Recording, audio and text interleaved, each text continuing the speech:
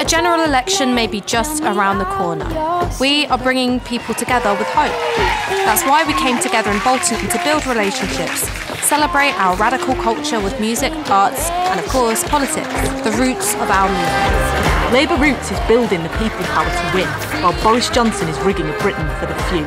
Hell bent on pushing through a banker's Brexit and stripping Britain of the NHS, decent jobs, and causing division and deep inequality. Unless we stop Johnson what he's doing now, it's a headlong rush into the arms of Donald Trump, and I am not prepared to stand by and allow our economy to be destroyed on the altar of American big business. We will take on the billionaire property developers, stand up to low wage corporates, and tackle the climate breakdown with thousands of green unionised jobs.